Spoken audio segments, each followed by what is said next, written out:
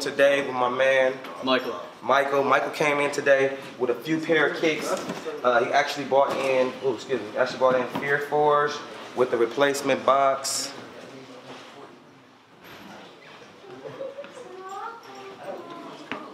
DS Cement 4s. Any reason why you didn't wear this pair? Um, no specific reason, just kind of been sitting. Sitting on it? Yep, sitting on it. No problem with that. Very good condition, infrared sixes. They got the standard um, flaws on the front toe box, but that's nothing you can do. After one wear, you're gonna get that with these. Bordeaux sevens.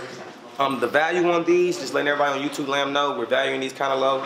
Um, more trading value than cash. We just see it, multiple pairs of them, especially with the outlets getting overran with them.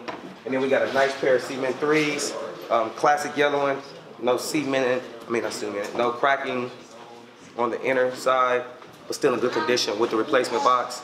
Um, what we value this trade in value in on this one, two, three, four, five pack is 660.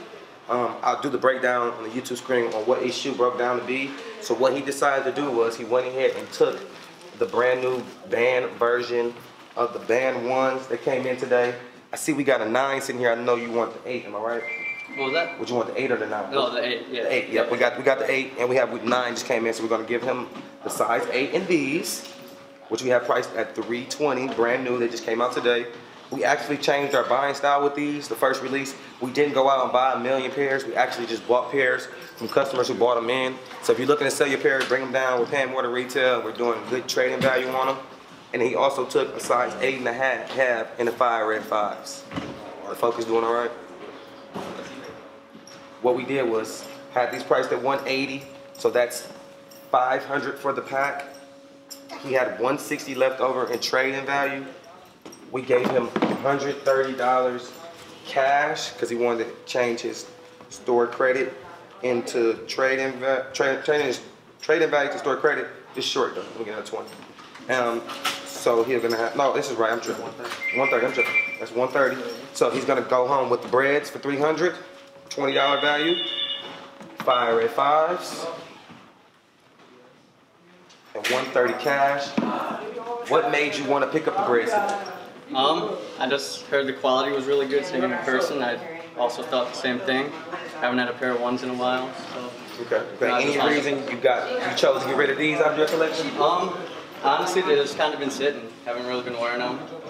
I mean, that's kind of extra shoes for me. Not everyday be-dos. Right, warm in a while. So. How many pair you got in your collection? Um, other than these, I only have like six more. Okay. Or is probably the favorite silhouette, definitely. Is it hard to come by the eight and a half size? Um, kind of. I mean, I have a, I have a cousin who wears the same size. He's a big sneakerhead too, so you know, if he gets rid of stuff, he'll you good, know, yeah, shoot, good. shoot me a text first.